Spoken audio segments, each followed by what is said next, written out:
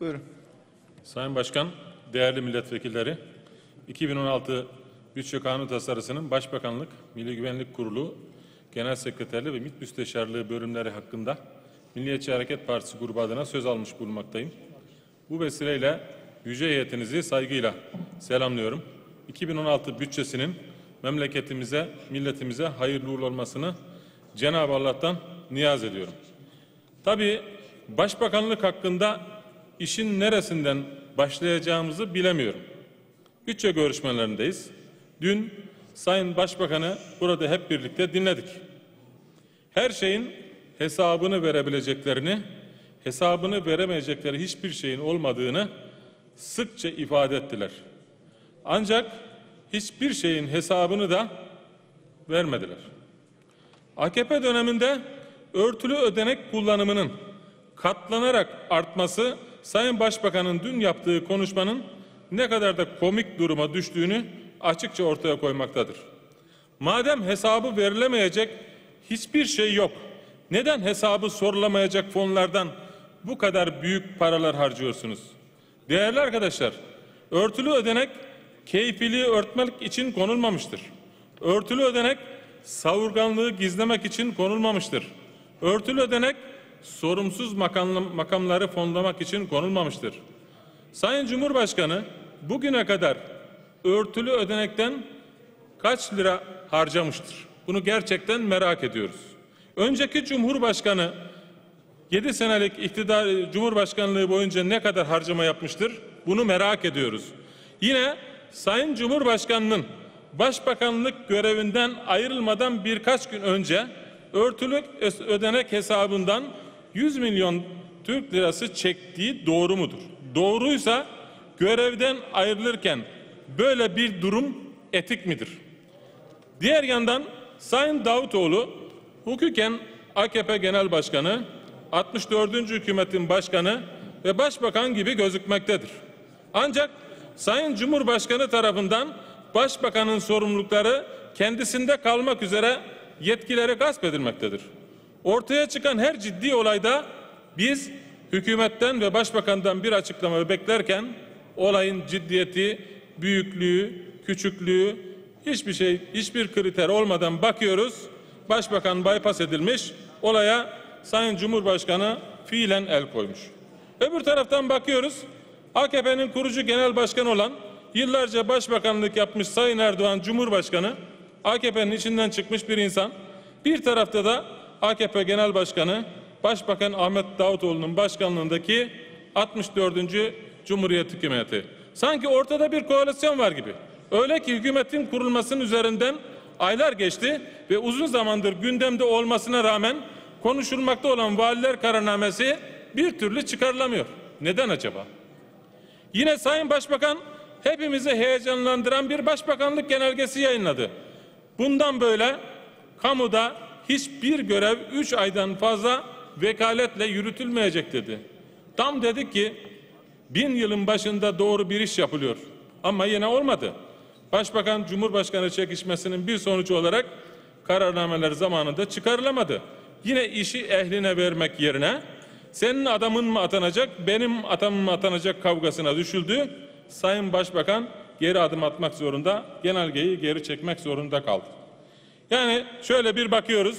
1 Kasım'dan sonra tek başarısı kabinedeki yerini korumak olan başbakanın esip gürlemesi ve AKP'nin yenileri benim demesi adeta kara bir mizah haline geldi. Ankara'nın göbeğinde bomba patladı. Kriz toplantısını yine Cumhurbaşkanı yaptı. Sayın Başbakan, Allah aşkına bakanlar kime bağlı? MİT kime bağlı?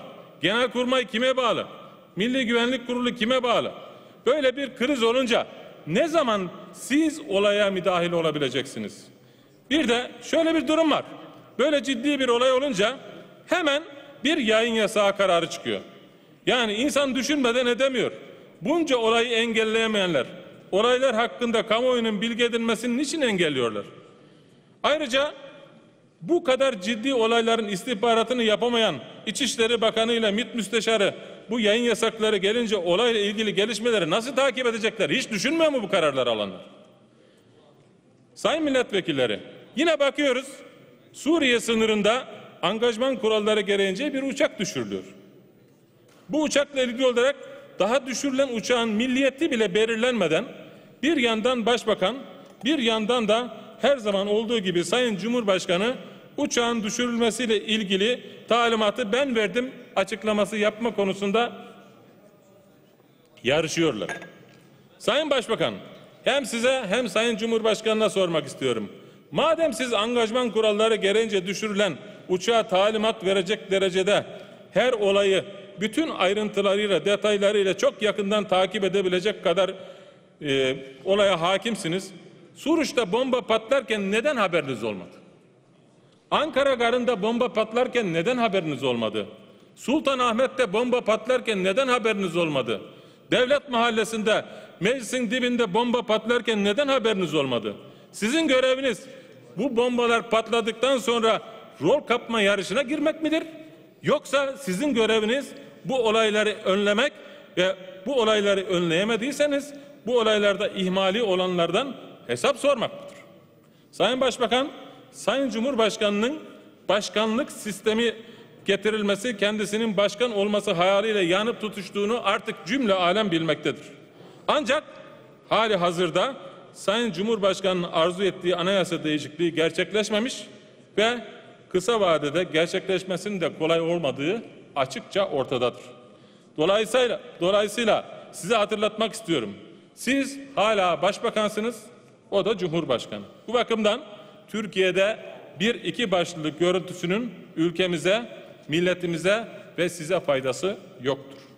İçeride de dışarıda da çok ciddi sorunlarla karşı karşıya olduğumuz bu kritik süreçte davul birisinin, tokmak birisinin omzunda, elinde olmaz. Türkiye bu şekilde yönetilemez. Lütfen yetkilerinize ve anayasaya sahip çıkın. Sayın Başkan, değerli milletvekilleri, ülkemizin içeride ve dışarıda çok ciddi tehditlerle karşı karşıya olduğu bir dönemdeyiz. İçerideki ve dışarıdaki tehdit değerlendirmesini yapması gereken bir kurumumuz var. Aslında görevi bu. Ancak bu kurum yani Milli Güvenlik Kurulu maalesef Türkiye'nin gündemiyle uğraşmak yerine sanal gündemlerle Türkiye'yi meşgul etmektedir. Türkiye'nin içinde bulunduğu coğrafyadaki yaşanan olağanüstü gelişmelerin olduğu bir dönemde Milli Güvenlik Kurulu toplantılarından kamuoyuna yansıyan açıklamalar Türkiye'nin gerçeklerini milletimize açıklayabilecek nitelikte değildir. Görüyoruz ki yine bir kafa karışıklığı var. Bugün ve yarınla ilgili değerlendirmeler yapılırken de hükümetin ve Milli Güvenlik Kurulu üyelerinin bu kafa karışıklığından derhal kurtulmaları lazım. Dün 28 Şubat kararlarıyla yeteneksiz kadroların Türkiye'nin başına bela olmasının önünü açan Milli Güvenlik Kurulu bugün de bir kişinin almış olduğu yanlış kararları haklılaştırma merciği konumuna gelmektedir. Bu manada çözüm adlı ihanet süreciyle ilgili Milli Güvenlik Kurulu'nun ortaya koyduğu tavır nedir? Kuzey Irak'ta ve Suriye'de Türkiye'nin milli menfaatlerine büyük zararlar veren oluşumlar ve gelişler meydana, gelişmeler meydana gelirken Milli Güvenlik Kurulu'nun ortaya koyduğu tavır ne olmuştur? Sayın Başkan, değerli milletvekilleri, dün bütçenin tümü üzerindeki görüşmeler sırasında AKP grubu adına seçilen konuşmacılar ve konuşmacıların yaptıkları konuşmaların içeriği birlikte değerlendirildiğinde AKP'nin hala terörle mücadele mi edilecek yoksa müzakere masası yeniden mi kurulacak ikilemi arasında olduğu açıkça görülmüştür. Dün burada Sayın Bostancı çözüm süreci yanlış değildi. Hayatını kaybeden teröristleri şeytanlaştırmayız dedi. Eline silah alıp güvenlik güçlerine doğrultan masum insanlara hayatı zindan eden teröristlere atfen oradakiler suçludurlar. Polisi askeri şehit eden hariç eline silah verilip oraya gönderilen orada hayatını kaybedenlere biz merhamet duyarız. Onların ölümünden memnun olmayız ifadelerini kullandı. Sayın Bostancı hem teröristlerin elinde silah olduğundan bahsediyor hem merhametten bahsediyor. Bu nasıl bir çelişkidir? Yine güvenlik güçlerimiz elinde silahla, silahlı teröristlerle mücadele etmektedir. Sayın Bostancı, eli silahlı teröristlere güvenlik kuvvetlerinin çiçek vermesini mi beklemektesiniz? Sayın Bostancı, Allah aşkına çözüm sürecinin yanlış olduğunu görmek için 6 ayda verilen 326 şehit kafi gelmemekte midir? Yine Gata'yı dolduran gazilerimiz yeterli gelmedi mi size? me- meranet süreç içerisinde göz yumduğunuz, yumduğunuz bombaların şehit ettiği 326 güvenlik görevlisi bu sonucun sürecini size hala gösteremedim. Bir tarafta teröristin taziyesine katılan bazı şahıslar için fezleke hazırlatarak şov yapacaksınız. Diğer taraftan teröristlere acıyacaksınız ve hala çözüm sürecine geri dönüş sinyalleri vereceksiniz. Bu ne perhiz ne lahana tuşu Sayın Bostancı. Biz hangi AKP'ye inanalım? Hangi tavrınıza inanalım? Siz hangi taraftasınız? Diğer yandan dünkü bir konuşmayı daha dikkatlerinize sunmak istiyorum. Burada şahsı adına konuşan AKP milletvekili Sayın Miroğlu HDP'ye dönerek HDP'li dostlarımıza da şunu tavsiye ediyorum. Siz eğer tekrar müzakere masasına dönülmesini istiyorsanız muhatabınızı müzakere masasına dönmesin diye zayıflatmak için başvurduğu başvurduğunuz şiddet ve terör eylem- eylemlerinden bir an önce vazgeçin diyor. O zaman evet her şey konuşulabilir. Bu meclis çatısı altında da konuşulur. Başka mekanlarda da başka oturumlarda da konuşulur. Bu ne demektir? Neyin çağrısıdır? Yeniden mi çözülme süreci? Yeniden mi teröristlerle müzakere? Allah aşkına değerli arkadaşlar bir yanda sonuna kadar terörle mücadele diyeceksiniz. Bir yandan da el altından zeytin dalı uzatacaksınız.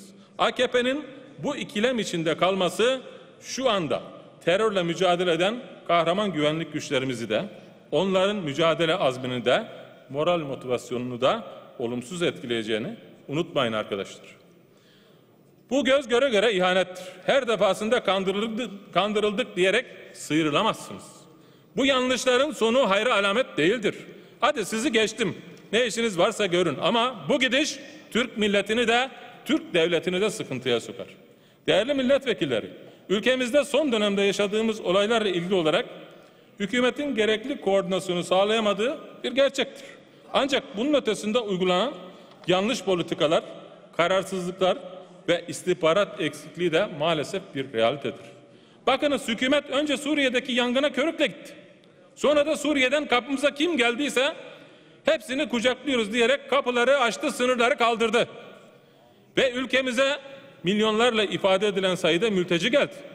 Bu mültecilerin ülkemize gelişi sırasında herhangi bir kriter de belirlenmedi. Kapımıza dayanan herkesin beyanı doğru kabul edildi. Esas alındı.